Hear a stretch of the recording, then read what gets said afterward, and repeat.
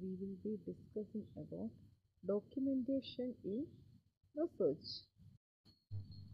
The ethics of scholarship require proper acknowledgement of all source materials by the writer. Ethics of scholarship എന്ന് പറഞ്ഞാൽ ഏതൊരു കാര്യം പഠിക്കുന്ന വ്യക്തികൾക്കും ഒരു ധാർമ്മികത ഉണ്ടായിരിക്കണം എന്താണ് ആ ധാർമ്മികത അവർ പഠന വിഷയമാക്കിയ ആ ഒരു ടോപ്പിക് റിസർച്ചിന് വേണ്ടിയിട്ട് അവർ തിരഞ്ഞെടുത്ത ടോപ്പിക് ആ ഒരു ടോപ്പിക്കിൽ മറ്റാരെങ്കിലും മറ്റാരെങ്കിലുമൊക്കെയും വർക്കുകൾ ചെയ്തിട്ടുണ്ടെങ്കിൽ ബുക്കുകൾ എഴുതും അല്ലെങ്കിൽ മറ്റാരെങ്കിലും മറ്റാരെങ്കിലുമൊക്കെയും പഠനം നടത്തി റിസേർച്ച് റിപ്പോർട്ട്സുകളൊക്കെ തയ്യാറാക്കിയിട്ടുണ്ടെങ്കിൽ അവയിൽ നിന്നൊക്കെ കടമെടുത്തിട്ടുണ്ടെങ്കിൽ അതിനോടൊക്കെ നന്ദി പ്രകാശിപ്പിക്കുക എന്നതാണ് ആ ഒരു ധാർമ്മികത. മറ്റുള്ളവർ ചെയ്ത വർക്കുകളെ ഡിപ്പെൻഡ് ചെയ്യാതെ ഒരു റിസർച്ചർക്കും അവരവരുടെ പഠനം മുന്നോട്ട് കൊണ്ടുപോകാൻ ബുദ്ധിമുട്ടാണ്. അതെല്ലാം റെഫർ ചെയ്യേണ്ടതായിട്ട് വരും. റിസർച്ച് റിപ്പോർട്ടിൽ തന്നെയും പലയിടത്തും അത് മെൻഷൻ ചെയ്യേണ്ടതായിട്ട് വരും മറ്റുള്ളവരുടെ ഐഡിയാസൊക്കെ പക്ഷേ അതിനോടെല്ലാം ഒരു അക്നോളജ്മെന്റ് കാണിക്കണം നന്ദി പ്രകാശിപ്പിക്കണം. This is a matter of intellectual honesty ഇതിനെ നമ്മൾ ഒരു ഒരർത്ഥത്തിൽ ഇന്റലക്ച്വൽ ഹോണസ്റ്റി എന്ന് പറയും. ഇന്റലക്ച്വൽ ഹോണസ്റ്റി എന്ന് പറഞ്ഞാൽ മറ്റുള്ളവർ അവരുടെ ബുദ്ധി ഉപയോഗിച്ച് കണ്ടുപിടിച്ച കാര്യങ്ങളും അവർ എക്സ്പ്രസ് ചെയ്ത ഐഡിയാസൊക്കെ മറ്റൊരാൾ മറ്റൊരാൾ കടമെടുക്കുകയാണെങ്കിൽ അതിനോട് ഒരു സത്യസന്ധത വെച്ച് പുലർത്തണം. അതിനെയാണ് ഇന്റലക്ച്വൽ ഹോണസ്റ്റി എന്ന് പറയുന്നത്. Credit for borrowed words ideas symbols or other forms of expression should be given and their sources should be state in the text or footnotes അത് അപ്പോൾ എങ്ങനെയാണ് ആ അക്നോളജ്മെന്റ് കാണിക്കുക? അത് ഈ രീതിയിലാണ്. ചിലപ്പോൾ വാക്കുകളായിരിക്കാം ഐഡിയാസ് ആയിരിക്കാം സിമ്പിൾസ് ആയിരിക്കാം അല്ലെങ്കിൽ മറ്റെന്തെങ്കിലും മറ്റുള്ളവർ എക്സ്പ്രസ് ചെയ്ത കാര്യങ്ങളായിരിക്കാം കടമെടുക്കുന്നത്. അപ്പോൾ അങ്ങനെ കടമെടുക്കുക എന്ന് പറഞ്ഞാൽ ഒരു റിസർച്ച് റിപ്പോർട്ടിൽ അതൊക്കെ മെൻഷൻ ചെയ്യേണ്ടതായിട്ട് വരും. എന്ന് പറഞ്ഞാൽ മറ്റുള്ളവരുടെ വാക്കുകളോ ഐഡിയാസോ സിമ്പിൾസോ മറ്റുള്ളവർ എക്സ്പ്രസ് ചെയ്ത കാര്യങ്ങളൊക്കെ ചിലപ്പോൾ ഇവിടെയും പ്രസന്റ് ചെയ്യേണ്ടതായിട്ട് വരും. അങ്ങനെ വരുമ്പോൾ അതിന്റെ സോഴ്സസ് ഒന്നെങ്കിൽ ആ ടെക്സ്റ്റിൽ തന്നെയും അല്ലെങ്കിൽ അത് ഫുഡ് നോട്ടായിട്ട് കാണിക്കണം. അങ്ങനെയാണ് ആ അക്നോളജ്മെന്റ് കാണിക്കേണ്ടുന്നത്. ആ ഒരു കടപ്പാട് അല്ലെങ്കിൽ ആ ഒരു നന്ദി കാണിക്കേണ്ടുന്നത്.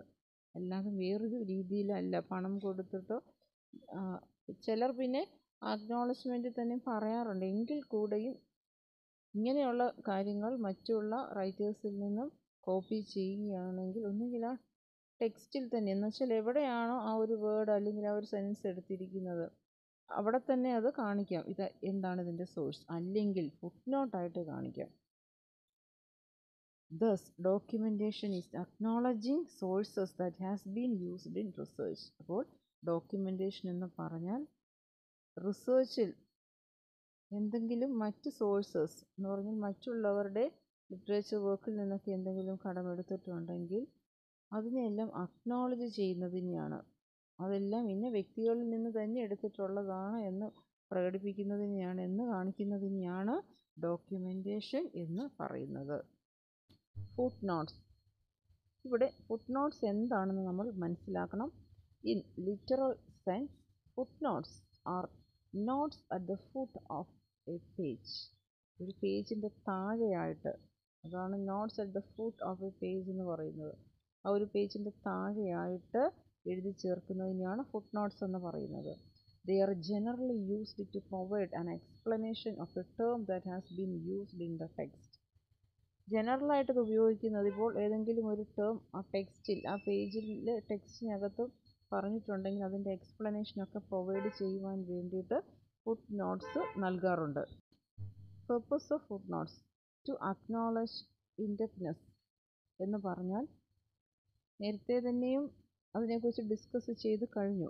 അപ്പോൾ ഏതെങ്കിലും ഒരു പേജിൽ ഒരു റൈറ്റർ അല്ലെങ്കിൽ റിസർച്ച് റിപ്പോർട്ട് തയ്യാറാക്കിയ റിസർച്ചർ മറ്റാരുടെയെങ്കിലും ആശയങ്ങളോ മറ്റോ കോപ്പി ചെയ്തിട്ടുണ്ടെങ്കിൽ അത് എവിടെ നിന്നാണെന്ന് മെൻഷൻ ചെയ്യണം. ആ പേജിന്റെ ഏറ്റവും താഴെയായിട്ട്. അതാണ് അക്നോളജ് ചെയ്യുക എന്ന് പറയുന്നത്. നന്ദി. പ്രകടിപ്പിക്കുകയാണ്. മറ്റൊരു വ്യക്തിയിൽ നിന്നും കടമെടുത്തിട്ടുണ്ടെന്ന് കാണിക്കുകയാണ്. To amplify or clarify the ideas or information in the text പിന്നെ മറ്റ് ചില പേർപ്പസുകളൊക്കെയും ഈ food നോട്ട്സിനുണ്ട് to amplify or clarify the ideas എന്ന് പറഞ്ഞാൽ ആ ടെക്സ്റ്റിൽ കൊടുത്തിരിക്കുന്ന ചില ഇൻഫോർമേഷന് ചില കൂടുതൽ ഇമ്പോർട്ടൻസ് നൽകേണ്ടതായിട്ടുണ്ടായിരിക്കാം. അല്ലെങ്കിൽ അതിനൊരു ക്ലാരിറ്റി നൽകേണ്ടതായിട്ടുണ്ടായിരിക്കാം. അപ്പോൾ അത്തരം കാര്യങ്ങളെല്ലാം ഫുഡ് നോട്ടിലാണ് പറയേണ്ടുന്നത്. കുറച്ചും കൂടെ ഒരു പർട്ടിക്കുലർ ടേം ആണെന്ന് വിചാരിക്കുക. അതിന്റെ മീനിങ്ങും അതിന്റെ ഇമ്പോർട്ടൻസ് അതിന്റെ ക്ലാരിഫിക്കേഷനൊക്കെ ഫുഡ് നോട്ടിൽ നൽകാം.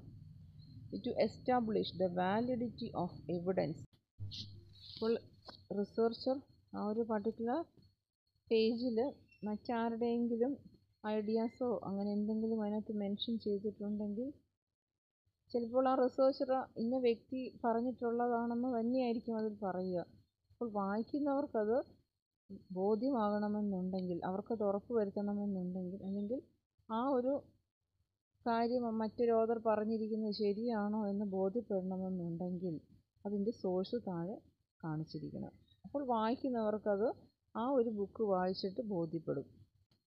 ഇത് ആ ഒരു ഓതറിന്റെ നിന്ന് തന്നെയാണ് കോപ്പി ചെയ്തിരിക്കുന്നത് എന്നൊരു കാര്യം. അതാണ് വാലിഡിറ്റി ഓഫ് എവിഡൻസ് ഏതൊരു ബുക്കിൽ നിന്നാണോ ഇക്കാര്യം എടുത്തത് അതിന്റെ ഒരു തെളിവ് കൂടിയാണ് ഫുട് നോട്ടായിട്ട് താഴെ നൽകിയത്. വായിക്കുന്നവർക്കത് റെഫർ ചെയ്ത് ബോധ്യപ്പെടുമല്ലോ. To guide the reader to further refer the sources of information on the subject under discussion അപ്പോൾ ഇങ്ങനെ റിപ്പോർട്ടിൽ നൽകിയിരിക്കുന്ന കാര്യങ്ങൾ മറ്റേതെങ്കിലും ബുക്കുകളിൽ നിന്നോ മറ്റോ എടുത്തിട്ടുള്ളതാണെങ്കിൽ അതിനെക്കുറിച്ച് കൂടുതൽ വായിക്കുവാൻ റീഡർക്ക് താല്പര്യമുണ്ടെങ്കിൽ എന്ന് പറഞ്ഞാൽ ഈ റിസർച്ച് റിപ്പോർട്ട് വായിക്കുന്ന വ്യക്തികൾക്ക് താല്പര്യമുണ്ടെങ്കിൽ അവർക്ക് സോഴ്സ് ഓഫ് ഇൻഫോർമേഷൻ എന്ന് പറഞ്ഞാൽ ഏത് ബുക്കിൽ നിന്നാണ് എടുത്തിട്ടുള്ളത് അത് തിരഞ്ഞ് വായിക്കുവാനായിട്ടുള്ളൊരു ഗൈഡൻസ് കൂടിയാണ് ഈ എന്ന് പറയുന്നത്. To give the original version of material that has been translated in the text.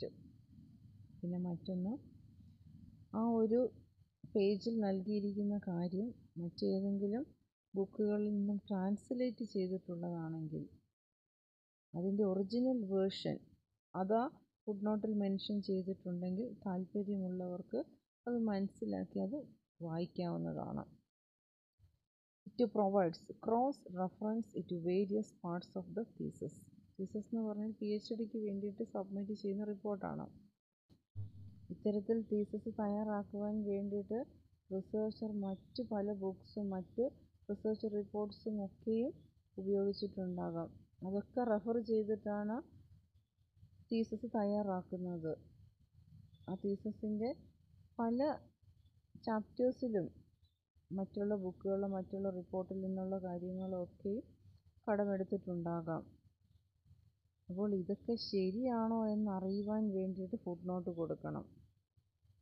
ഈ തീസിസ് ഇവാലുവേറ്റ് ചെയ്യുന്ന ആൾക്കാർക്ക് ഈ പറഞ്ഞ ബുക്കിൽ നിന്നൊക്കെ തന്നെയാണോ കാര്യങ്ങളൊക്കെ എടുത്തിട്ടുള്ളത് എന്ന് ചെക്ക് ചെയ്യുവാനും ഫുട് നോട്ട് ആവശ്യമാണ്. അതാണ് ക്രോസ് റെഫറൻസ് അപ്പോൾ ഒരു പേജ് ഒരു ടേം മറ്റൊരു ബുക്കിൽ നിന്നാണ് എടുത്തിരിക്കുന്നത് എന്ന് ഫുട്നോട്ടിൽ കാണിക്കുന്നു. വായിക്കുന്ന വ്യക്തിക്ക് ഒരു സംശയം ഉണ്ടാകുന്നു.